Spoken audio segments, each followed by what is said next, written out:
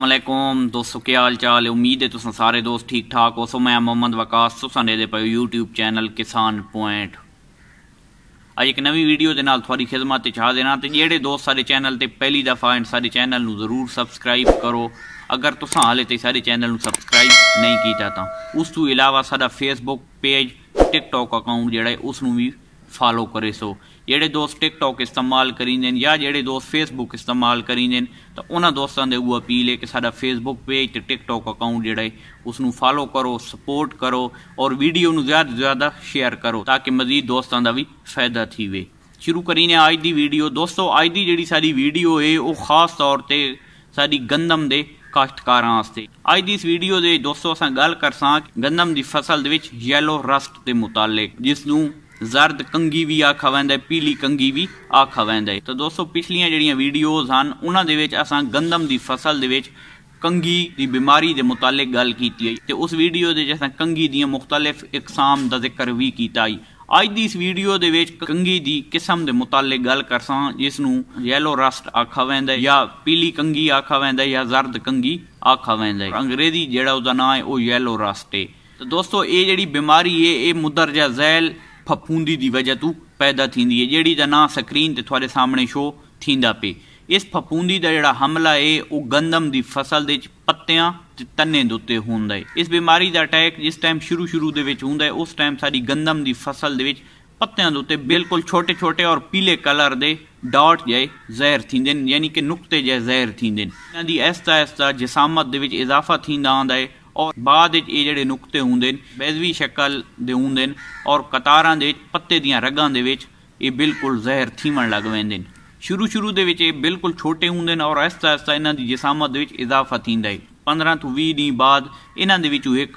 ਸਫੂਫ ਜਿਹਾ ਖਾਰਿਜ ਥੀਂਦਾ ਹੈ, ਜਿਹੜਾ ਕਿ ਮਜ਼ੀਦ ਬਿਮਾਰੀ ਫੈਲਾਵਣ ਦਾ ਬਾਇਸ ਬਣਦਾ ਹੈ। ਔਰ ਇਹ ਜਿਹੜਾ ਸਫੂਫ ਹੈ, ਹਵਾ ਦੇ ਨਾਲ ਦੂਰ ਦਰਾਜ਼ ਇਲਾਕੇ ਤੱਕ ਸਫ਼ਰ ਕਰਨ ਦੀ ਸਲਾਹੀਅਤ ਰੱਖਦਾ ਹੈ, ਜਿਸ ਦੀ ਵਜ੍ਹਾ ਤੋਂ ਆਸ-ਪਾਸ ਦੇ ਜਿਹੜੇ ਇਲਾਕੇ ਨੇ, ਉਹਨਾਂ ਦੇ ਵਿੱਚ ਗੰਦਮ ਦੀ ਫਸਲ ਇਸ ਬਿਮਾਰੀ ਤੋਂ ਮੁਤਾਸਿਰ ਥੀਂਦੀ ਹੈ। ਔਰ ਜ਼ਮੀਂਦਾਰਾਂ ਦਾ ਕਾਫੀ ਹੱਦ ਤੱਕ ਨੁਕਸਾਨ ਥੀਂਦਾ ਹੈ ਔਰ ਗੰਦਮ ਦੀ ਪੈਦਾਵਾਰ ਦੇ ਵਿੱਚ ਵੀ ਵਾਜ਼ਿਆ ਤੌਰ ਤੇ ਕਮੀ ਵਾਕਿਆ ਥੀਂਦੀ ਹੈ ਇਸ ਟਾਈਮ ਇਹ ਬਿਮਾਰੀ ਮਜ਼ੀਦ ਏਰੀਏ ਦੇ ਵਿੱਚ ਫੈਲਦੀ ਹੈ ਔਰ ਨਵੇਂ ਪੱਤਿਆਂ ਦੇ ਉੱਤੇ ਬਿਮਾਰੀ ਜ਼ਹਿਰ ਥੀਂਦੀ ਹੈ ਤੇ ਤਕਰੀਬਨ 15 ਤੋਂ 20 ਦਿਨਾਂ ਬਾਅਦ ਉਹਨਾਂ ਦੇ ਤੋਂ ਵੀ ਇਹ ਪਾਊਡਰ ਜਿਹੜਾ ਹੈ ਹਵਾ ਦੇ ਵਿੱਚ ਮਜ਼ੀਦ ਇਲਾਕੇ ਤੱਕ ਟਰੈਵਲ ਕਰ ਵੈਂਦਾ ਹੈ ਜਿਸ ਦੀ ਵਜ੍ਹਾ ਤੋਂ ਉਹ ਪੂਰਾ ਏਰੀਆ ਜਿਹੜਾ ਹੈ ਉਹ ਇਸ ਰਿਸਕ ਦੀ ਜ਼ਦ ਵਿੱਚ ਆ ਵੈਂਦਾ ਹੈ ਤੇ ਦੋਸਤੋ, ਤੁਹਾਨੂੰ ਚਾਹੀਦਾ ਹੈ, ਤੁਸੀਂ ਆਪਣੇ ਖੇਤ ਦਾ ਹਰ ਸੂਰਤ ਵਿੱਚ ਮੁਆਇਨਾ ਕਰੋ। ਆਪਣੇ ਖੇਤ ਦੇ ਵਿੱਚ ਕਿਥਾਈ ਵੀ ਰੈਸਟ ਦਾ ਕੋਈ ਕੇਸ ਸਾਹਮਣੇ ਆਂਦਾ ਹੈ ਤਾਂ ਉਸ ਨੂੰ ਹਰ ਸੂਰਤ ਵਿੱਚ ਕੰਟਰੋਲ ਕਰੋ। ਕਿਉਂਕਿ ਇਹ ਬਿਮਾਰੀ ਨਾ ਸਿਰਫ ਤੁਹਾਡਾ ਨੁਕਸਾਨ ਥੀ ਸੀ ਦੇ ਨਾਲ, ਬਲਕਿ ਆਸ-ਪਾਸ ਦੇ ਜ਼ਮੀਂਦਾਰਾਂ ਦਾ ਵੀ ਕਾਫੀ ਹੱਦ ਤੱਕ ਇਸ ਬਿਮਾਰੀ ਦੀ ਵਜ੍ਹਾ ਤੋਂ ਨੁਕਸਾਨ ਥੀਂਦਾ ਹੈ।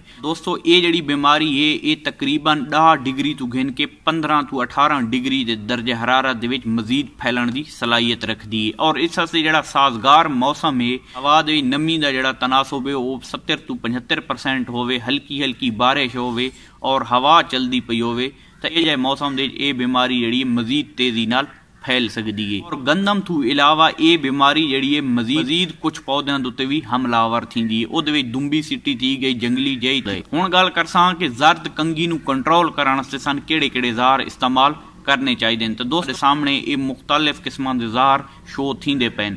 ਅਗਰ ਤੁਸੀਂ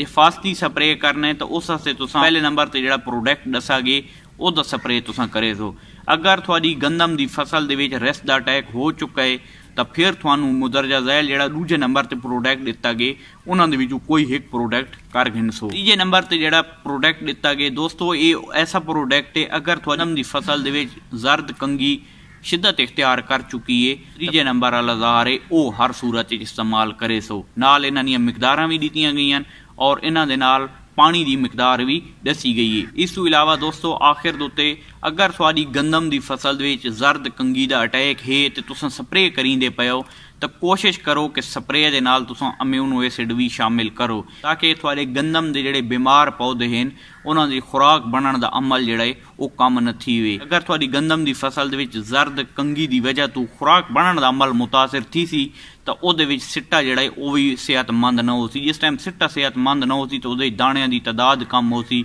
ਦਾਣੇ ਦਾ ਸਾਈਜ਼ ਕਮ ਰਹੇ ਹੋਏ ਸੀ, ਦਾਣੇ ਦਾ ਵਜ਼ਨ ਕਮ ਰਹੇ ਵੇ ਸੀ, ਜਿਸ ਦੀ ਵਜ੍ਹਾ ਤੋਂ ਤੁਹਾਡੀ ਪੈਦਾਵਾਰ ਦੇ ਵਿੱਚ ਫਿਰ ਵੀ ਕਮੀ ਵਾਕਿਆ ਥੀ ਸਕਦੀ ਹੈ ਤੁਸੀਂ ਕੋਸ਼ਿਸ਼ ਕਰੋ ਜਿਸ ਟਾਈਮ ਜਿਸ ਟਾਈਮ ਤੁਸੀਂ ਕੰਗੀ ਵਾਸਤੇ ਸਪਰੇਅ ਕਰੇ ਸੋ ਉਹਦੇ ਨਾਲ ਤੁਸੀਂ ਖੁਰਾਕ ਦਾ ਵੀ ਖਾਸ ਤੌਰ ਤੇ ਖਿਆਲ ਰੱਖੋ ਅਮੀਨੋ ਐਸਿਡ ਦਾ ਸਪਰੇਅ ਕਰੋ ਤਾਂ ਕਿ ਤੁਹਾਡੀ ਗੰਦਮ ਜਿਹੜੀ ਉਹਦੀ ਗਰੋਥ ਮੁਤਾਸਰ न थीवे और ਤੁਹਾਨੂੰ ਅੱਛੀ ਪੈਦਾਵਾਰ ਹਾਸਿਲ ਥੀ ਸੰਗੇ ਉਮੀਦ ਕਰੀਏ ਤੁਹਾਨੂੰ ਵੀਡੀਓ ਅੱਛੀ ਲੱਗੀ ਹੋਸੀ ਮਜ਼ੀਦ ਅੱਛੀ ਅੱਛੀ ਵੀਡੀਓ ਦੇਖਣ ਵਾਸਤੇ ਸਾਡੇ YouTube channel Facebook page TikTok account ਨੂੰ ਹਰ ਸੂਰਤ ਵਿੱਚ ਫਾਲੋ ਤੇ ਸਬਸਕ੍ਰਾਈਬ ਕਰੋ ਮਿਲਦੇ ਹਾਂ ਇੱਕ ਨਵੀਂ ਵੀਡੀਓ ਦੇ ਨਾਲ ਅੱਲਾ ਹਾਫਿਜ਼